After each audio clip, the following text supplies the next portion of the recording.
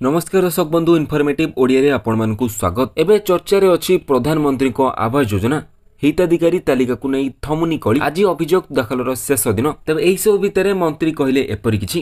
କ'ଣ ରହିଛି ନୂଆ ଅପଡେଟ୍ ଜାଣିବା ତା ପୂର୍ବରୁ ଲାଇକ୍ କରିବା ସହିତ ଆଗକୁ ଏଭଳି ଭିଡ଼ିଓ ଦେଖିବାକୁ ଚାହୁଁଥିଲେ ସବସ୍କ୍ରାଇବ୍ କରି ବେଲ୍ ଆଇକନ୍କୁ ଦବାଇ ରଖିବେ। ପ୍ରଧାନମନ୍ତ୍ରୀ ଆବାସ ଯୋଜନାର ହିତାଧିକାରୀ ତାଲିକାକୁ ନେଇ ଥମୁନି କଳି। ଏହାରି ଭିତରେ ଆଜି ହେଉଛି ଅଭିଯୋଗ ଦାଖଲର ଶେଷ ତାରିଖ। ପଞ୍ଚାୟତିରାଜ ମନ୍ତ୍ରୀ କହିଛନ୍ତି ଆବାସ ଯୋଜନାର ଘର ବଣ୍ଟନରେ ସ୍ୱଚ୍ଛତା ରହିବା ପାଇଁ ସବୁ ପ୍ରକାର ପ୍ରୟାସ କରାଯାଇଛି।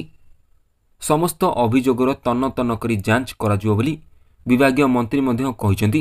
ସେପଟେ ଆବାସ ଯୋଜନାରେ ହିତାଧିକାରୀ ତାଲିକାରେ ଅଯୋଗ୍ୟଙ୍କ ନାଁ କଟା ନ ଗଲେ ରାଜ୍ୟବ୍ୟାପୀ ଆନ୍ଦୋଳନ କରିବ ବୋଲି ଚେତାବନୀ ଦେଇଛି ବିଜେପି। ଆସନ୍ତାକାଲି ବିଜେପି ପକ୍ଷରୁ ରାଜ୍ୟବ୍ୟାପୀ ମୁଖ୍ୟମନ୍ତ୍ରୀଙ୍କ ଉଦ୍ଦେଶ୍ୟରେ ଦାବିପତ୍ର ପ୍ରଦାନ କରାଯିବ।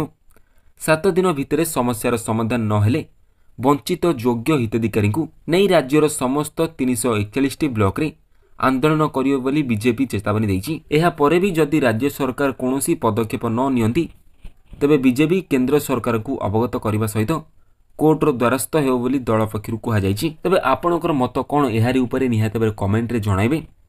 ତେବେ ଆପଣଙ୍କ ନାଁ ପ୍ରଧାନମନ୍ତ୍ରୀ ଆବାସ ଯୋଜନା ଲିଷ୍ଟରେ ଅଛି କିମ୍ବା ନାହିଁ ତାହା ମଧ୍ୟ କମେଣ୍ଟରେ ଜଣାନ୍ତୁ।